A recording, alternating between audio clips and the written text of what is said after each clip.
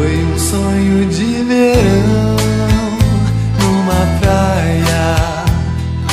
Quatro semanas de amor em noites de luar, sob a luz das estrelas. Eu e você, o seu nome eu escrevi.